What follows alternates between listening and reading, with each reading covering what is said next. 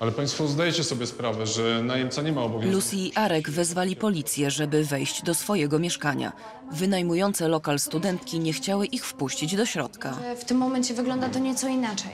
Co na to wskazuje? Zeznania sąsiadki? Tak, dokładnie. Powiedziała nam, że była to impreza, hałasy, prawdopodobnie zde- zdemolowali mieszkanie, można ją zapytać.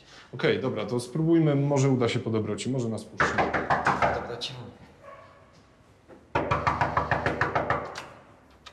No nie, policją serio was porąbało. Dzień dobry, aspirant Janusz Wołczyk. Państwo mają podejrzenie o zniszczenie mienia.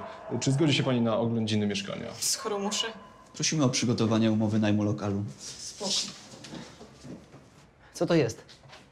No pytam się, co to jest?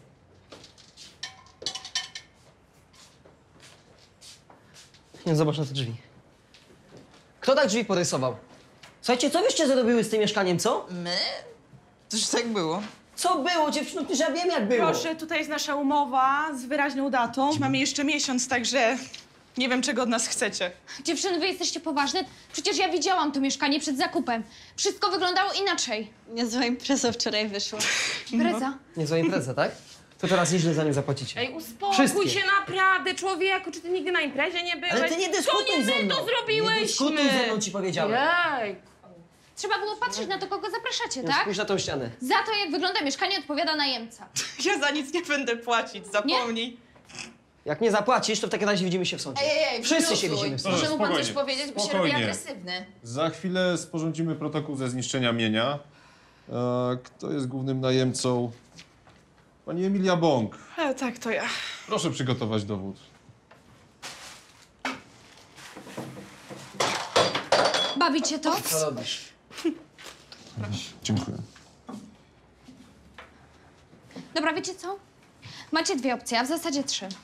Albo wyremontujecie same mieszkanie, musi być gotowe do dnia, w którym się wyprowadzacie, albo pokryjecie koszty zniszczeń na podstawie wyceny fachowca.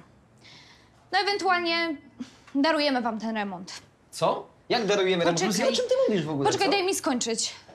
Darujemy wam remont, jeżeli jeszcze dzisiaj się wyniesiecie. No way, gdzie my będziemy mieszkać? A co mnie to obchodzi? Może chociaż do końca tygodnia. Albo dzisiaj, albo płacicie za wszystko. Lucy, pozwól na chwilę, co? Lucy, powiedz mi, co tobie odbiło, żeby coś takiego im proponować, co?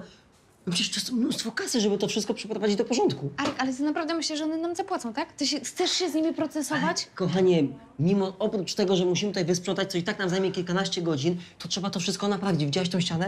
Przecież to wszystko trzeba zeskrobać, zagruntować, zaszpachlować, wymalować. Zobacz na kontakty, wszystkie są wyrwane. Poczekaj, ja naprawdę to rozumiem. No to jak to rozumiesz, to powinieneś doskonale, doskonale wiedzieć, ile to będzie kosztować. Zobacz na te drzwi, drzwi są do wymiany, a co jeżeli nie kupimy takich samych? Ale ty naprawdę myślisz, że na tym się skończy? Że one przez kolejny miesiąc nie zrobią nic złego? Nie rozumiesz, że już dzisiaj lepiej się ich pozbyć? Nie wiem, ja tak czy tak bym tego nie odpuścił.